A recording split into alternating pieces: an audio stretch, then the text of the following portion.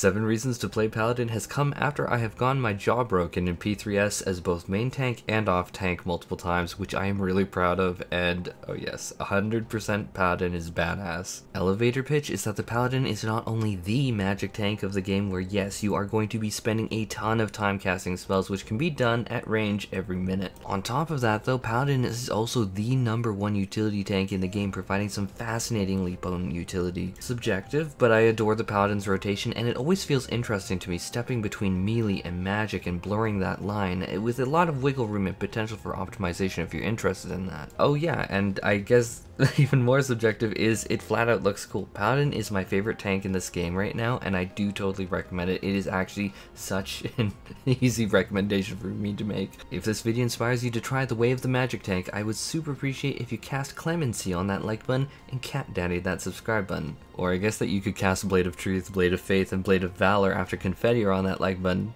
Yeah. So stupid. Reason number one is the Paladin honestly has a pretty fantastic rotation in Endwalker. Oftentimes I hear how boring tanks are, and honestly, Paladin in the days of Eld that you only hear whispers of anymore did in fact use an ability called Flash for AoE and it did no damage and when we got Total Eclipse it was actually revolutionary. the combo and single target was uh I'll, I'll describe it as horrific in A Realm Reborn. But Endwalker Paladin, it, it, has somehow completely redeemed itself from that time, which saying redeemed from that absolute horror of the past is saying a lot. That That is a monumental hill to climb, if you get what I mean. Currently, they're weaving between their physical fight or flight buffed combo, keeping up their damage over time effect, and then gaining charges of atonement, which then they use for over and over again fantastic small bursts of damage, and then they reapply the damage over time effect. But during that time, you're going to be throwing in a ton of off GCDs with Expiacion. I'm probably saying that wrong, but my I'm, trying.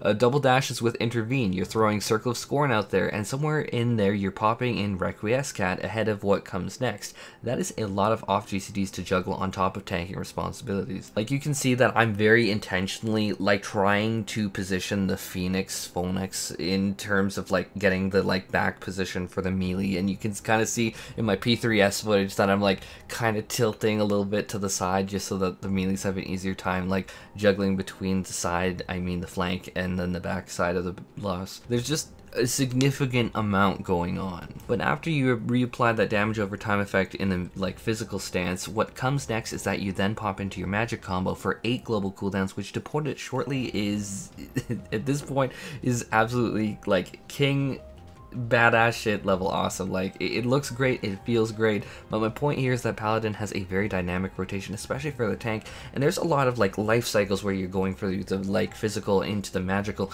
and there's a lot of optimization and stuff at play here that you can do, you can't do, you'll still do well either way, and it's just like you could save charges of Holy Spirit cast for particular movement phases, and Paladin's rotation obviously won't reset at that point. Same deal with Atonement charges for, like, those melee bursts. Uh, like, major flexibility plus plus plus here, I am very much a fan of Paladin's gameplay to say the least. Reason number two is that the Paladin is the only tank in the game to feature a magical ranged combo and truly live that magic tank fantasy. Through your rotation, you're going to be popping Requiescat at every minute, and yes, every minute, that will allow you to fly around the field popping four casts of Holy Spirit for fantastic damage at range, and then you're going to be popping into another four casts of what I'm lovingly calling the Paladin's Confetti combo. That's what I was kind of trying to get at when I was talking talking about liking the like button, it's like Blade of Truth Blade of Valor, you get what I mean now. But this sum totals as 8 GCD around 2.5 second per GCD is roughly 20 seconds of mobility per minute because the Paladin's optimal GCD is something like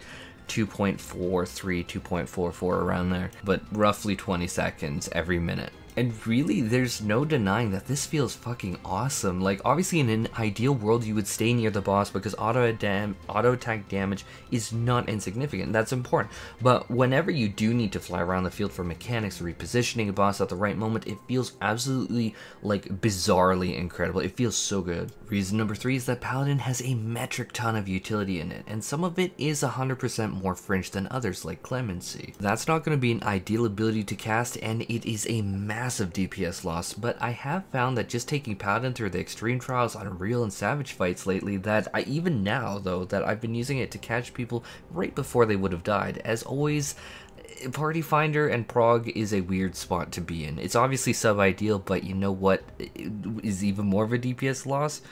Death, or rather death of a DPS that you could potentially save. But with that out of the way, the Paladin really is still the premier utility tank of Final Fantasy XIV. Paladin features a very easy to proc themselves now since your Holy Spirit healing or your Confetti combo healing does proc it, but they have an ability called Divine Veil is what I'm trying to get at here, and Divine Veil not only provides a strong shield to allies to buffer incoming damage, but now apparently the developers tacked Medica onto it now, so it also provides a little bit of healing to top people off, and as a healer main my perspective of that is actually pretty positive towards chip damage and keeping people topped off, especially for successive incoming damage. That's always going to be a welcome thing. I mean, I'm looking at this as a healer and I'm like, wow, why, how offensive. An extra 400 potency of healing from my tanks, how dare they?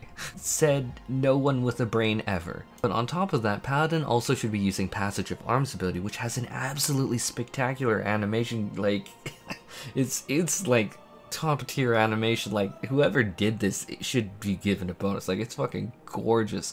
But this reduces incoming damage by 15%. And most tanks either have one mitigation or warrior has barrier. Oh, you mean specifically magic damage by 10%. Mm, depending on the situation, I'd say never mind Paladin wins here, which if you do need to hold it, then you do have that option. What it should get at here is the trade-off for Paladin is that successive AoE, you would need to hold down this ability, which unfortunately stops you from like need uh, doing damage.